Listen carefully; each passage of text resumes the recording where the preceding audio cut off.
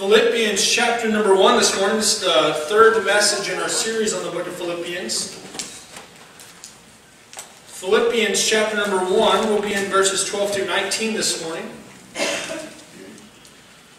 We'll read that and then we'll pray. The Bible says in verse number 12, But I would ye should understand, brethren, that the things which happened unto me have fallen out rather unto the furtherance of the Gospels, gospel, so that my bonds in Christ are manifest in all the palace and in all other places. And many of the brethren in the Lord, waxing confident by my bonds, are much more bold to speak the word without fear.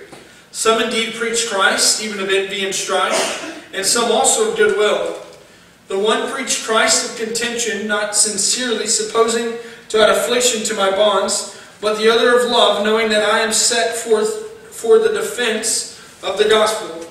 What then, notwithstanding every way, whether in pretense or in truth, Christ is preached, and I therein do rejoice, yea, and will rejoice, for I know that this shall turn to my salvation through your prayer and the supply of the Spirit of Jesus Christ. Let's pray. Dear Heavenly Father, God, we're thankful for the book of Philippians. God, we're thankful uh, for the church at Philippi and that they went on in your name. God, help us today as we study your word. God, help us to get something out of it. God, help me uh, to preach your word. Help me not to say anything you wouldn't have me to say. God, hide me behind the cross and fill me with your spirit. In Jesus' name pray. Amen. Have you ever met someone that no matter how bad their life was, it seemed like everything was awesome? They're just bubbly, they're happy, they're, they have a, a, a personality that's just contagious. Uh, they, they could have had the worst day of their life, but, at, but they still are happy. How many of you have ever met somebody like that? They're kind of frustrating, to be honest. I'm like, man, just, it's okay to be upset. But no, they're, they're rejoicing. And when I think about the Apostle Paul, that is what I think about. This guy had been through so much, and yet at the end of the day, when he was writing the book of Philippians, the key word to Philippians was joy and rejoice. That's amazing to me that Paul, being in a Roman prison every hour of every day, was still having joy and still rejoicing. He had every reason to be complaining and to be murmuring. Every reason. You know, we go through a lot less and we complain a lot more. He had every reason, but he didn't. He had one thing on his mind, and that was the gospel. We could all take some lessons from it. The first thing we see in Philippians chapter number 1 is Paul's plea. Paul started off pleading with the church at Philippi. He says, But I would ye should understand, brethren. He's saying, I need you to get something. I need you to understand something. Paul is ready to encourage them to go forward for the cause of Christ. He calls them brethren, reminding them that they're on the same team. It's like us when we say brother or sister. We're, we're reminding each other that we're on the same team. We're a church that's unified for one cause, and that's the gospel of Jesus Christ. And that's what Paul is reminding this church at Philippi. Hey, no matter what's happening in your life, our one job, our one responsibility is to the furtherance of the gospel. Paul is also going to give them some insight into what he, why he does what he does. We think about, uh, he says, the things which happened unto me have fallen out. If you turn over to 2 Corinthians, you can find out a little bit about what Paul is talking about here.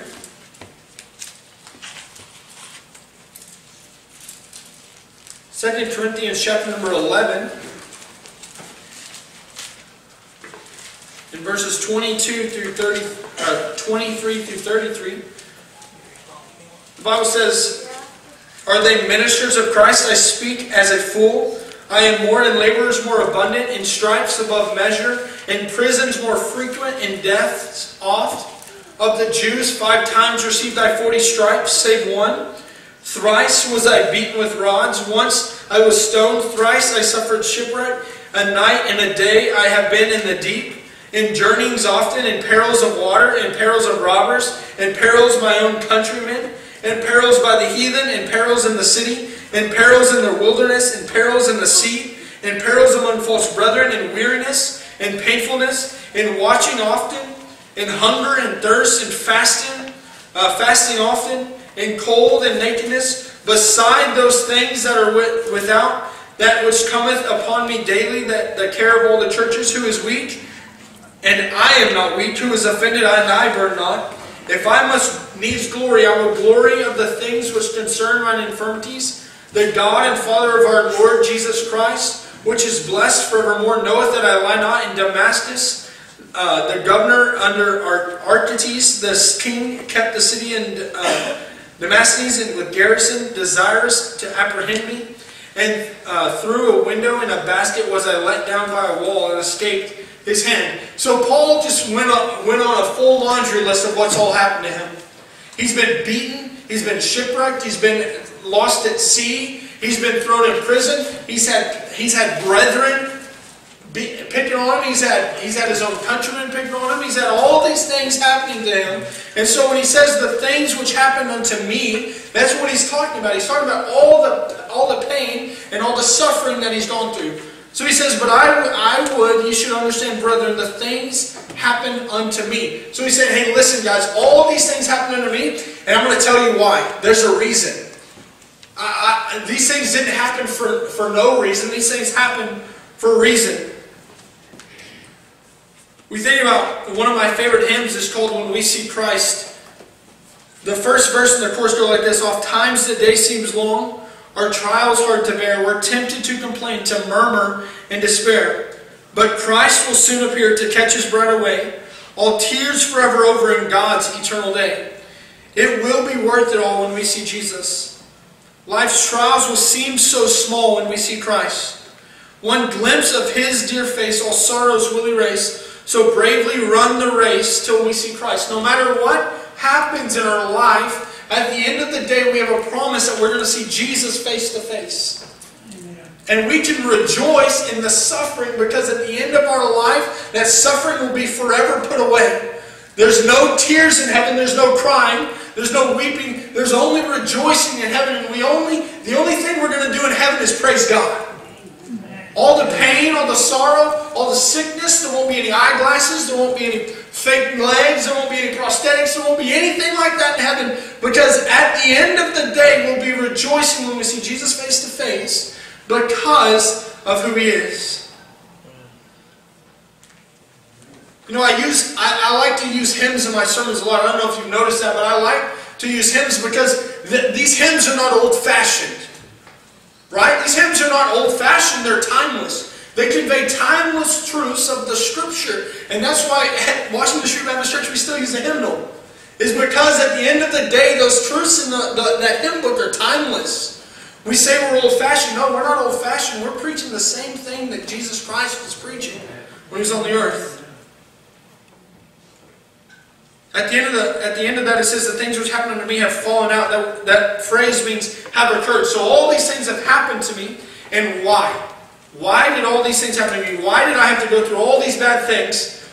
It doesn't make any sense. And to us, our finite minds, it might not make any sense what, why we're going through the trial we're going through, but God has a reason. Verse number 12, at the end of it says, But have fallen out rather unto the furtherance of the gospel. Paul could have easily gotten discouraged. I don't know about you, but whenever things don't go my way, I can get a little bit grouchy. I get a little bit grumpy, and I don't like it. Uh, and Paul, obviously, a lot of things didn't go his way. He went from being a Jew of the Jews to being thrown in prison by the Jews. He went from being a, a premier leader in the Jewish church to being a prisoner of the Jewish church. Paul could have easily gotten discouraged, and after all that he had gone through to get where he is today, he went from traveling the world spreading the gospel to being confined to chains. It would have been easy for him to quit, but he didn't. He looked back on all that he had gone through and saw that it was gain for the cause of Christ. The pain, the suffering, the shipwrecks, getting beat, all of it was for the cause of Christ. And so today, we don't, we're not getting beaten every time we come to church. We're not getting beaten every time we talk to someone about Jesus. We're not. We, we don't know persecution like the Apostle Paul knew persecution. And so, what should we do when things don't always go our way? We got to go on. We got to go on for the cause of Christ because we are God's instruments that He's using in this day. It's us. God could have chosen anything. God could have made the rocks cry out, but instead He chose to use us. And we ought not, we ought not take advantage of that. Paul's goal, no matter the trial or tribulation he had to go through, was spreading the gospel.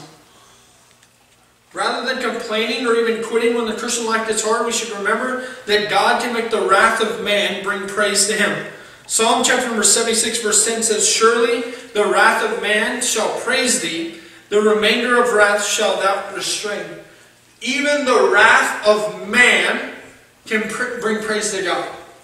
So when, next time someone might take, someone might be mean to you about spreading the gospel. You might be giving them a tract and they slam the door in your face. Just remember that God can turn that into praise.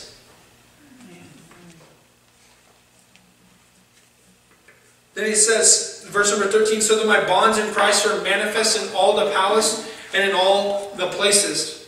We might not understand the reason we are going through something, but I promise that God has a plan. If we turn to Romans chapter number 8, it's a really good verse, Romans chapter number 8.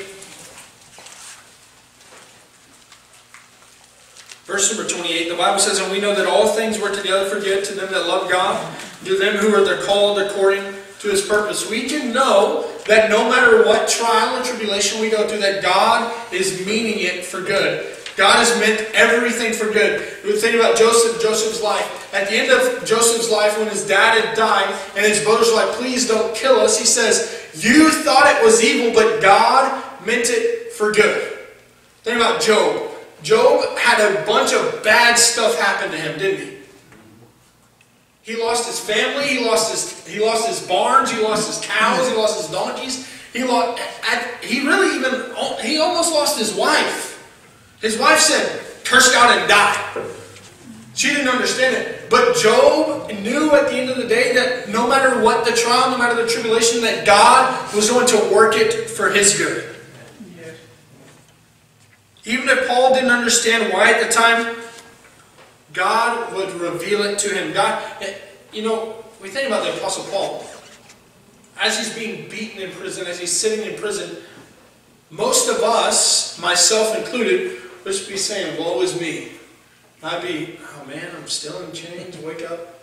Paul, look at the Apostle Paul. The Apostle Paul is telling others about Jesus. Him and Silas in the book of Acts had a Christian music concert. And they, the doors came open, and, and the Philippian jailer was saved because of it. Think about all the things that Paul had gone through, and Paul was still spreading the gospel, and that's our job as Christians. A church who fails to do the Great Commission fails to be a church. If we're not spreading the gospel, we're not a church, we're a social gathering. We must share the gospel. Think about the reach that Paul had. He did more in bondage than I think I could ever do as a free man. It says, uh, so that my bonds in Christ are manifest in all the palace so apparently he had some converts in Caesar's palace. That's amazing. Where he was jailed in, in, the, in the courtroom or whatever, where he was jailed, people were saved because of it out of Caesar's house. And in all the places, no matter where the Apostle Paul was, he was spreading the gospel. Over and over in the New Testament, as the persecution got more, the gospel spread more. Think about all the times in the book of Acts, whenever things were starting to die down with the church, what happened? There was some persecution and the church was rekindled. And, and, and it just continued to spread. As soon as it got stagnant in one place, God would send someone to persecute the church and then the church would move on. No, we, we, we have to remember that. So God is God's church will not die. God's church cannot die. Upon this rock have I built my church. God is talking about His church is going to go on. With or without us. God has allowed us to be instruments, and I'm super thankful that I have the opportunity to be an instrument for God. But God could do it without me. But God has given us the opportunity to be used of Him. Paul's plea to the church at Philippi was simply spread the gospel no matter the cost. He's saying, hey, it's going to hurt, it's going to be painful, there's going to be persecution, there's going to be people who don't like you. But at the end of the day, we must spread the gospel no matter the cost. As I was studying for this, I remembered this poem that I learned in college. We, in my English class and then in my church planting class, we had to memorize this poem and present it. Uh, and I don't have it memorized anymore, so I had to remember the words so I could look up what the poem was called. The poem was called Don't Quit. And the last stanza of this poem says, Success is failure turned inside out, the silver tint in the clouds of doubt. And you never can tell how close you are. It may be near when it seems afar. So stick to the fight when your heart is hit. It's when things seem worse that you mustn't quit. Why, why would they have us read that in church planting class? Why? Because things are hard. You know, things don't always go our way, and, and things are, it's tough. No, but at the end of the day, when things seem the toughest, that's when we must go the furthest. Louis Entzminger, who was the song director of the First Baptist Church in Fort Worth, Texas, when J. Frank Norris was there, it is said that when he was in seminary, he would get up in chapel and uh, he would speak to the preacher boys, and he would say these, this phrase over and over and over. Every chapel service that he had, he would say this. He would say, Go on, go on, go on. As Christians, we must go on. No matter the persecution, no matter the trial that we're facing, God is bigger than any trial that we could face. God has the answer to every, every problem that we have in our life. God has the answer. We have to trust Him. We must trust Him. So we see Paul's plea. The next, we see the motives of the pastors around him. Verse number 14 says, And many of the brethren in the Lord, waxing confident by my bonds, are much more bold to speak the word without fear. Have you ever noticed being around someone who's enthusiastic is contagious? Like when someone is enthusiastic, it's a lot easier for you to be enthusiastic. Someone who's happy is contagious. When someone smiles at you, most of the time it's a lot, it's easy to smile back, right? But on the other end of the spectrum, when someone's when you're around someone who's grumpy, it's easy to be grumpy. When someone is cantankerous or contentious, it's, it's easy to be that way. And so Paul knew this. So this is exactly what was happening to the followers of Paul. As Paul was more bold in prison, the Christians that were following Paul, who was following Christ, became more bold. The Roman Christians saw Paul in chains awaiting trial in Rome.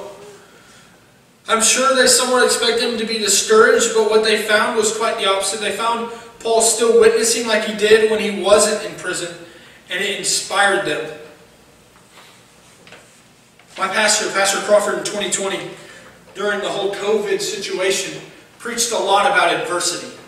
And he preached a lot from Romans chapter number 8. Because there was a lot of adversity that everyone was facing. There was uncertainty. Uh, he was leading a church through a global pandemic for the first time ever. And so there was a lot of adversity. And so he, would, he said this over and over. He said, adversity is common in life. But how Christians respond should be uncommon. There's going to be adversity in our life. There's going to be, there's going to be pain. There's going to be hurt. There's going to be trials. But how we respond as Christians should be uncommon to man. When they look at a Christian who's going through a trial, they shouldn't say, oh, I knew that was going to happen.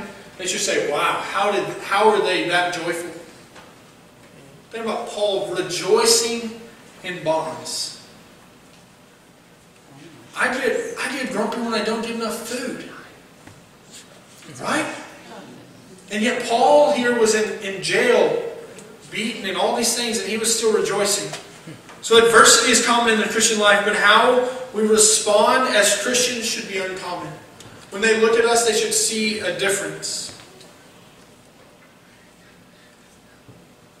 The way Paul handled adversity gave the Roman Christians boldness to preach. Romans chapter number 1, verses 14 through 16 says, I am debtor both to the Greeks and to the barbarians, both to the wise and to the unwise. So as much as in me is, I am ready to preach the gospel to you that in Rome also. For I am not ashamed of the gospel of Christ. For it is the power of God unto salvation to everyone that believeth, to the Jew first, and also to the Greek. We have power through Jesus Christ. We have the power to overcome no matter what the trial, no matter what the tribulation. We have the power through Jesus Christ. As we see the world waxing worse and worse, we ought to be more bold. We have to preach more. We have to we have to we have to talk about our faith more. Because I don't know about you guys, but I don't want people to die and go to hell. When I look, when, when we, it's it's really easy with this main Washington Street drive going past us. You might not be able to see the cars, but you can hear the cars passing by. And over and over and over, as we're in service today, you'll hear cars passing by. Who knows how many? 50, 100. And those people might not know about Jesus. And what are we doing about it? What are we doing? I want, at the end of my life, to know that I gave everything I had for the cause of Christ. And so should you. We talked about it in Sunday school this morning that God has put a witness inside of each of us. And we have to share that witness. We have to be bold in our witness. It's what God has called us to do. Verse number 15 says, Some indeed preach Christ, even of envy and strife, and some also of goodwill. We have to be careful of our motives. Paul's motives were right, but there were some there were some pastors who were preaching that their motives weren't right. They were preaching out of envy and strife. They were envious of Paul, and they were they, they, they didn't like what he was doing. They didn't like that he was getting all this glory and all this. He was in the limelight. We need to check our motives.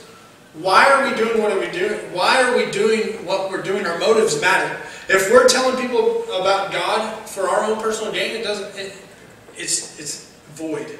It's empty. But if we're doing what we do and we're telling people about Jesus for the cause of Christ, it, it brings glory to Him. I think about when I was in Bible college, we had these little Christian, I can't remember what they're called, but we had to fill out this piece of paper that this how many church services I attended this week, uh, this is how many tracts I handed out, this is how many gospel presentations I gave.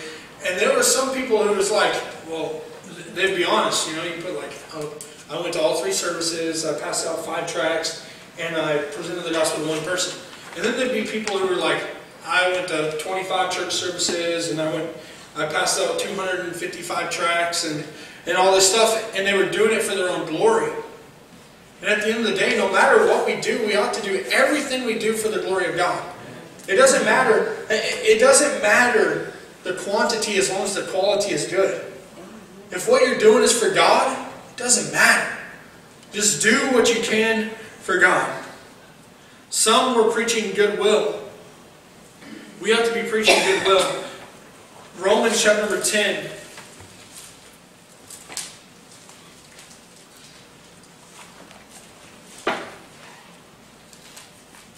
Romans chapter number 10, verse number 1 says, Brethren, my heart's desire and prayer to God for Israel is that they might be saved. Think about Moses. Moses, whenever God was getting ready to judge the Israelites, he says, God judge me and let the Israelites live. That's how we that's how we ought to be as Christians. We have to say, you know, God, whatever your will, I want your will to be done. I don't want my will to be done. I want I don't want to do this for my own glory. God, I want you to get all the glory. That's why we have to be very careful that we give every everything we do, every good thing that we've done, uh, God ought to get the glory. Because we're just instruments. Amen. We're, we're just tools that God is using, but God is doing all the work. Verse number 16 says, The one preached Christ of contention, not sincerely supposing to add to add affliction to my bonds. It's about to get a little it's about to get a little humorous in how Paul responds to this. But there were some people who were preaching contention and self-ambition. We have to be careful that we don't rejoice in someone else's pain. These people were rejoicing in the pain that Paul had. And saying they were they were preaching Christ, but they were preaching it and they were they were they were really um, being contentious towards Paul. The theme of Philippians chapter number one is Christ my life. And when He is your life, all the hate around you can be like water on a duck's back, right? It just rolls off. The people preaching like this thought they, they would make Paul's imprisonment worse. But then in verse number 18, we'll get back to verse number 17, but in verse number 18 it says, Not what then, notwithstanding every way, whether in pretense or in truth, Christ is preached, and I therein do rejoice, yea, will rejoice. So he's saying, you guys think that you're really messing with me, but at the end of the day, if Christ is preached, Christ is glorified. And every, every time we stand in the pulpit, every time someone gets in this pulpit to preach or to teach, Christ ought to be glorified. He ought to be lifted up. He ought to be praised and worshipped because of who he is. And so Paul was saying, you guys thought that this was going to be bad for me. You thought that you guys were going to make me mad and you thought you were going to get me worked up in this, in this prison cell. But if Christ is preached, I, Christ is glorified. And I will glory in that. I will rejoice in that. Verse number 17 says, But the other of love, knowing that I am set for the defense of the gospel. There were some, some people were preaching contention and envy and strife, and they were trying to stir up the pot. But then there was others who were preaching out of love, and that's our motivator ought to be the love of Christ. There should never be any hate spoken. We ought to hate sin, but we, we ought to love the sinner as Christ did. Sin is sin, and we can never overlook sin, but we can love a sinner. And he says, knowing that I am set for the defense of the gospel, he was, he was ready to defend the gospel no matter the cost. And we should too. And we have we have college students in here that will go to college and they will learn all kinds of weird stuff. They'll learn about evolution. They'll learn about uh, this theory that we were all monkeys and now look at us. They'll learn about this thing where everything appeared out of nothing. It was just goop. But where did the goop come from for them to make it? But that's, that's another point. But they're going to need to know the Bible, and they, they need to hear the Bible taught no matter what age group. So from the time that they're four years old or even in the nursery, they, they ought to be hearing the truth, not only from the people here, because we only have them for an hour, maybe. What are we doing with the other hours that they're at their house? They ought to know the love of Christ through us. We ought to give them the ability to defend their faith. It shouldn't just be mom and dad's faith, it should be my faith. Verse number 19 says, For I know that this shall turn my salvation through your prayer and the supply of the Spirit of Jesus Christ. Paul wanted people to be saved. He wanted his people to be saved. He wanted, no matter what they had done, no matter what they were going through, God, Paul wanted them to be saved. He wanted to preach the gospel, and that's what he was doing in bonds. And so this morning, maybe you've never trusted Christ as your Savior. Maybe you say, I, I have never put my faith and trust in Jesus Christ. Today's the day. God will, God will take all the wrath of the sins that you've committed to this point and through the end of your life. God will take all that upon His Son. And if you accept Jesus Christ as your Savior, He'll, he'll change you. And your, your eternal destination will be settled. You can you, you you have two eternal destinations. You have heaven or hell. The only way you get to heaven is through placing your faith and trust in Jesus Christ. It's, and, and then all the other stuff makes sense. The rejoicing in tribulation. For unsaved people, it makes no sense. The Bible talks about preaching is foolish to them that perish. It's foolish. But when you have your faith and trust in the right source, it becomes it changes your perspective on life. So maybe this morning you've never trusted Christ your Savior. Today's the day. Now is the only time you have. Come this morning. I can show you. My wife can show you. Any of the men can show you from the Bible how you can be saved. Or maybe you say, Brother Cody, I just need to be more bold. Need to be more bold in myself and in, in my testimony and, and living for Christ. You know, I don't have it that bad. Paul had it way worse, but I could do much better. I, that's my prayer for myself. I think a lot of times, like I'm good at, at spreading the gospel, but but how can I be better? So maybe that's you this morning. No matter what the situation, the altar is always open. Come this morning. Let's pray. Dear Heavenly Father, God, we thank you uh, for the ability to be in your house. God, thank you for uh, the message that was preached, God help us to take it to heart. God help us. Uh, help there, if there's anyone in this building that doesn't know you as their personal Savior, God help them to come this morning so that we can show them from the Bible how that they can place their trust in you. God help us to be more bold as Christians. God just help us uh, to reach Stephenville for you. God be with us, guide us, direct us, in Jesus' name pray. Amen. Amen. So stand on 128.